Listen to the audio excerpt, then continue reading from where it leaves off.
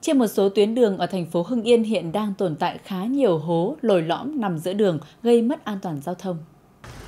Tình trạng trên xảy ra nhiều tại các tuyến đường bãi sậy đường Chùa Chuông và đường Phạm Ngũ Lão. Thực chất đây không phải là những ổ gà do đường xuống cấp, mà là những vị trí nắp cống có từ trước bởi sau mỗi lần đường được nâng cấp chảy nhựa áp van thì những vị trí nắp ống này được giữ nguyên, vì thế